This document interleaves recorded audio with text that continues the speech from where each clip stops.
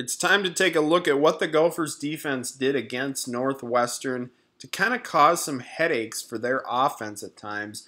Another really good performance by Joe Rossi as defensive coordinator.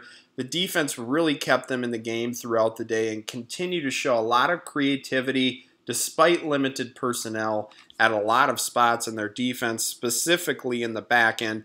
And that's where you see a lot of problems associated with this team is when the Gophers send pressure and you've got guys in man-to-man situations trying to cover down the field. And that's why moving forward into the future, recruiting at the defensive back spots is going to be huge. And also the defensive tackle spot, you're already seeing some of the benefits of recruiting there, specifically with a guy like Jamaal Teague. So that's a perfect transition into firing up the film here. Jamaal Teague made a really, really huge impact in a couple plays in this game when he came in when he's lined up over the nose, he does an excellent job of getting interior pressure, causing attention, and helping the linebackers get downhill and fill. He can draw a lot of attention just by the size that he has and his skill set. So let's roll the tape. So you can see here Jamaal Teague lined up right over the center draws double team. Linebacker can get downhill and make a great play. Blake Cashman, monster game. But see, Jamaal Teague can draw attention, and that's important for this defense to get their linebackers flowing downhill. Third down play right after this. Watch again. Kind of a 3 4 look here where you've got Jamaal Teague inside drawing some more attention. Boom. Tackle for loss. Again, more pressure this week. Gophers sent pressure. They shaded Carter Coughlin inside a few times, and it really drew a lot of attention. He's able to get a nice push. He's really tough to defend because he's got power, quickness, and really, really refined technique for a pass rusher. And he's been able to put bring some of that inside when they've shaded him in. And Blake Cashman's just been a monster. He is going to get picked in the NFL draft this year.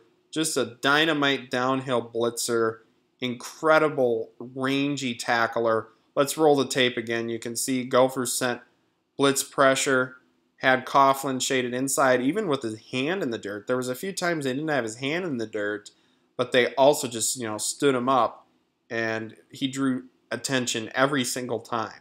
And when you don't have a ton of interior defensive line depth, bringing in a guy like Coughlin kind of adds a nice element to your defense and helps your linebackers be able to blitz effectively and have lanes to get after the quarterback. When you have one of the most productive blitzers in college football, you got to use them. Here's another clip for you. You can see here blitz again, Blake Cashman, disruption. It's just every single time. And then watch him get fired out of a torpedo here. Just a huge, huge tackle in space. One of the big turning points in this game was when the Gophers defense allowed a three-play scoring drive after Minnesota went and tied the game at seven and started to show some signs of life on offense. The three-play sequence, though, is the direct correlation to the Gophers sending a lot of pressure, which they've done more of lately, led to man-to-man opportunities where you kind of see some of the struggles the Gophers have been facing with personnel. However, it's nice to see them playing aggressive at least. In these situations, what do you have to lose? They were playing very soft off coverage a lot in these situations in earlier games this year. Now they're kind of just taking some chances and getting after it using that front seven that they have. So I'm going to walk you through the play sequence here. So the first play here, you're going to see they send both linebackers on pressure, leaving the underneath crosser wide open. There's the first play. Second play, again, you're going to see more pressure the Gophers send, and it's going to result in another big play. Cashman coming off the edge.